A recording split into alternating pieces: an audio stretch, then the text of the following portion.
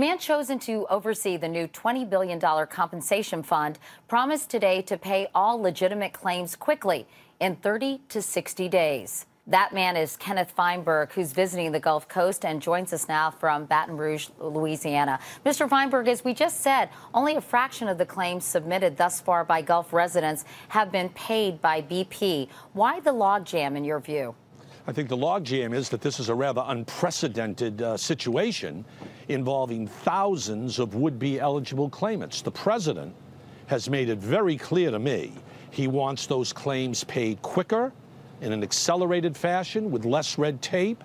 And that's why I'm down in the Gulf today to meet with Governor Barbour and now Governor Jindal to talk about how to speed up that process. Will BP have any jurisdiction over which claims are actually paid out, or will that company just hand over the money?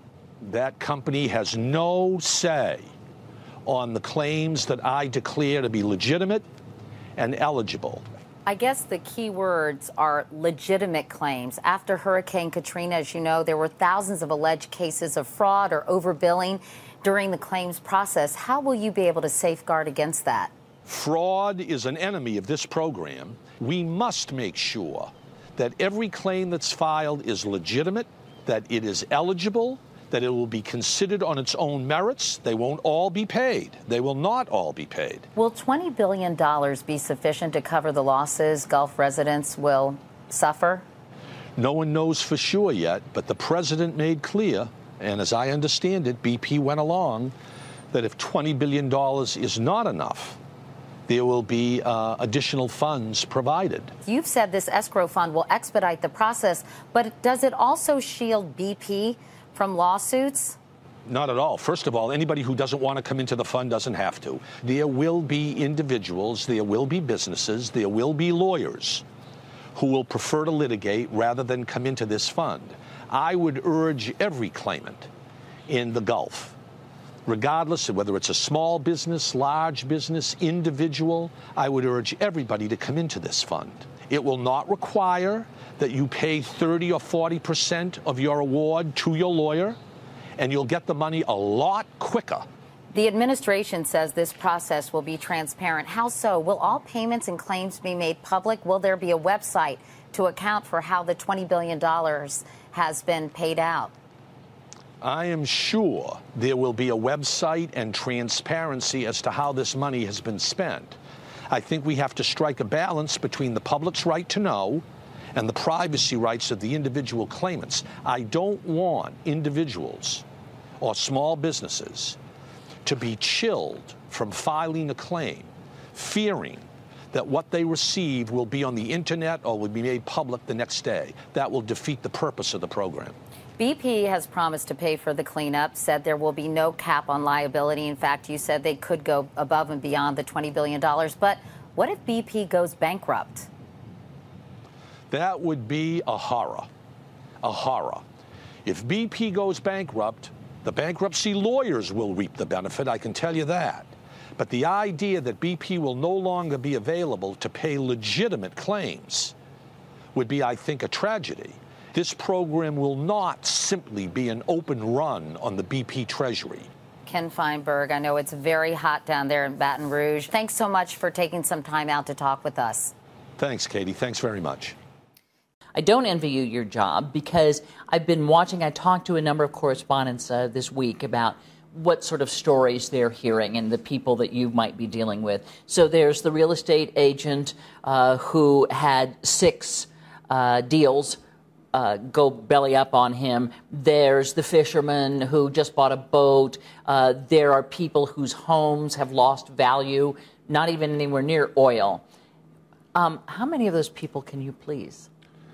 Well, you hope that you can please everybody in one sense that the program is fair, it's quick, it's consistent. Uh, you know, the, the, the claims are as diverse as human nature, and I'll have to look at each claim, can't prejudge anything, see the facts, observe the facts.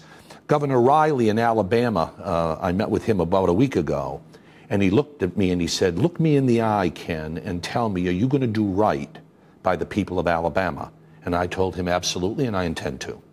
So when you are looking at all this, is, I know this sounds this is sort of a basic question. Do you have a staff, or are you superimposing over the BP people that are working? The latter. BP, to its credit, I mean, they have over a thousand people working in the Gulf now on claims, 35 different offices. Within the next couple of weeks, I would say certainly by the first week of August, the Gulf Coast Claims Facility will replace BP, will keep the people who are good, we'll add people, we'll accelerate claims, we'll process the claims as quickly as we can. We're already prepared to give eligible claimants not one month emergency payments, but six months with no obligation, no release required, just to try and help people in the Gulf. And that also will cut down on the lines, I think, rather than coming back every month. So That's you're prepared correct. to give half a year's compensation to people so they can kind of count on their lives uh, at least being stable for the, those next six months. That's right. Some degree of additional financial certainty. I work for the people in the Gulf. I don't work for the administration. I don't work for BP. And I've got to find a way to accelerate claims. I want I can't help people if they don't file. Once they file, we'll process the claim. If they're eligible, we'll give them up to 6 months emergency comp, their choice. They don't have to take 6 months, but 6 months emergency comp without any release of any type. And uh, interesting, uh, we were talking during the break, you find that people are not as, you know, let's all line up and get some money. Oh no. One of the big challenges convincing people to file a claim. Mr. Feinberg, I only get paid in cash. I'm afraid to file a claim. Are you going to be sending all of my information that I provide you to the IRS? I mean, I don't, I'm not sure about what are your, are your intentions. No, no, no. This is not easy to convince people that some new program will help them. It, it, it, takes some work. And at the same time, uh, this is a, a, lot different from the other things here, the Virginia Tech uh, victims, 9 11, because there were, uh, there were a, a, controlled group of people. This is, is massive and it's an ongoing um, disaster. And I wonder if the worry about fraud is a lot higher in this case. Well, we only had out of 7,300 applications in 9 11, we only had 35 examples of fraud. Uh, we've got to create, as part of the program that I'm establishing, an anti fraud provision or an anti fraud um, protection. We're getting tremendous cooperation from the Department of Justice, uh, which will help us. Uh, we'll make sure nothing can undercut the credibility of this program more than fraud. And we'll take every step we can to minimize the likelihood of fraudulent applications and payments. And in, in, our final minutes, tell me how you found people down there. Are they receptive to you? Do they feel as though they are going to get a fair shake? Or what, just what are those meetings like? Every meeting is different. I spent one day in Louisiana going around with Senator Landrieu at various town hall meetings. I've been to Alabama, Mississippi, Florida. Tomorrow, back in Florida, tomorrow morning. People are uncertain. They're worried about their financial certainty. It sure would help Candy if the oil stopped. That, that's one problem I've got.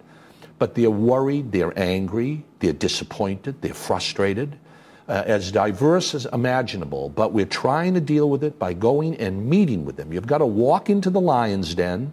You've got to be prepared to take the heat, which I am. It's part of the territory. But I'm confident, as with the other programs I've uh, designed, if I have a chance to meet with people, give them assurance that we're going to be fair in our consideration of every application, please file your claim. We will do right by you. And you have been there enough, I think, probably to gather a sense of economically what we're talking about here. Is 20 billion going to be enough? We'll see. That I can't answer. And the main reason I can't answer that yet is I haven't seen all the applications. Until the oil stops, you don't know how pervasive the oil spill will be. So you don't know if somebody who has not been harmed at all today will be harmed by additional oil next week. Once the oil stops, I believe we'll be able very quickly to get sort of a handle on the comprehensiveness of the claims population.